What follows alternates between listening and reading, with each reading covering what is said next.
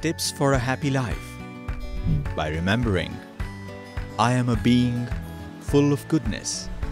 Make each relationship special and beautiful. And share that goodness with others.